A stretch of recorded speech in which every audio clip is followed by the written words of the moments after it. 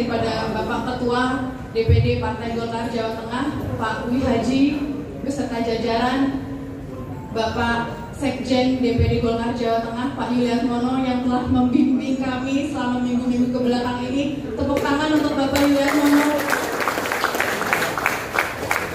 beserta seluruh senior yang hadir pada hari ini yang telah membimbing kami juga Bapak Iqbal, Pak Wi Haji, Pak Bagus, Pak Margono, Mas Bondan yang hadir, Mas Pak Ipur, Mas Pak Bagus, Pak Kami, Ibu Maria, Pak Aris, Mas Didi, Bapak Yusuf selaku ketua senior kami, kesepuhan kami, Matur Sembah Nuwun, rekan-rekan yang insya Allah dapat bekerja sama dengan baik, Bapak Ketua Harian kita Pak Bandung, Pak Taufik selaku sekretaris, fraksi anggota DPRD Kota Surakarta, Pak Agus, Pak Margono, dan seluruh jajaran pengurusan kota Partai Golkar Kota Surakarta yang saya banggakan dan saya cintai.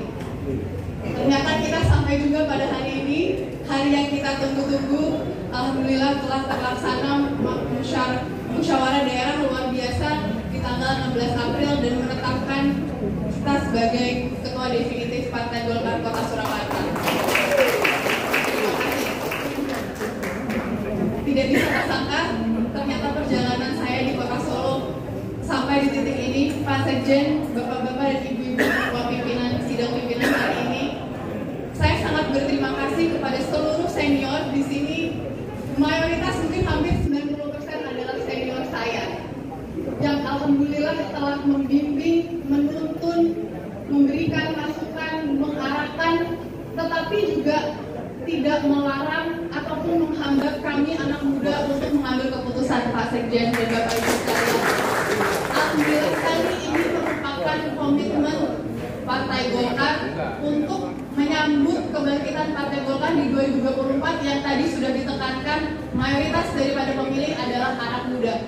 Insya Allah dengan penugasan ini kita bisa mengedepankan semangat-semangat kepemudaan yang adalah juga inti dari Partai Golkar, semangat pembangunan, karya yang semoga bisa kita sebarluaskan di masyarakat kota Surakarta. Saya ingat betul yang disampaikan oleh para senior bahwa memang penting untuk kita mengajak anak muda untuk aktif bermasyarakat, berpolitik. Apa pun itu, kita harus terus regenerasi, G, Bapak Ibu sekalian, untuk menjaga keberlangsungan institusi, salah satunya adalah partai yang kita cintai. Tetapi tentu kita harus terus bergandengan tangan dengan para senior yang telah melaksanakan perjuangan politik bertahun-tahun, berbulan-bulan, lebih lama daripada kita dan insya Allah sinergi simbiosis yang akan terjadi di kota Surakarta akan menjemput kebangkitan Partai Golkar di kota Surakarta di tahun 2024. Ini merupakan tugas yang menantang Pak Sekjen, Bapak Ibu sekalian, seperti yang sudah tidak asing lagi bagi Partai Golkar di kota Surakarta, tetapi kita harus yakin dan optimis seperti yang disampaikan oleh Pak Ketua Harian Partai Golkar Jawa Tengah. Dan kita harus semangat menggapai apa yang menjadi cita-cita kita khususnya di tahun 2024. Saya mohon dengan sangat dengan kerendahan hati agar Bapak Ibu sekalian, Mas-mas, Mbak-mbak yang hadir di sini ikut bekerja sama untuk mensukseskan misi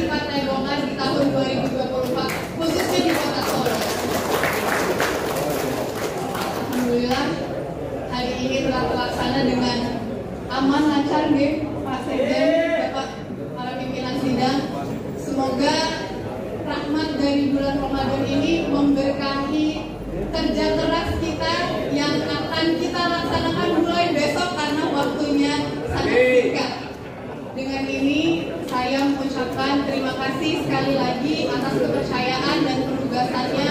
Mohon bimbingannya, tapi saya juga mohon kesempatannya untuk saya dan rekan-rekan sekalian anak-anak muda lain yang mungkin ingin bergabung dan membangun Solo bersama Partai Bapak.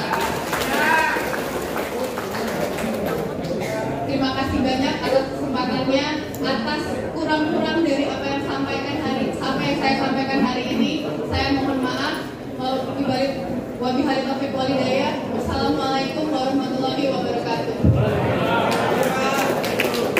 Tadi saya baru diingatkan oleh Mas Iput untuk melaksanakan hilal-hilal. Oke, mungkin Golkar bilang Golkar, Indonesia, Indonesia Golkar, Golkar menang menang menang, Erlangga presiden, presiden Erlangga, Solo Golkar, Golkar, Golkar. Oke. Golkar. Indonesia. Golkar. Erlangga. Presiden. Golkar Solo. Menang.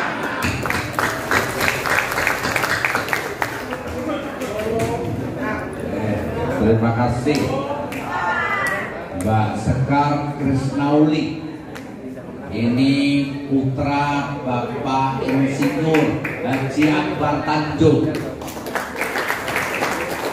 Bapak Tanjung 2004 Pasca reformasi Partai Golkar. Ya. Di 2004 melalui sentuhan tangan dingin Bapak 2024 pakai kata angka 4 lagi. Mudah-mudahan 2024 menang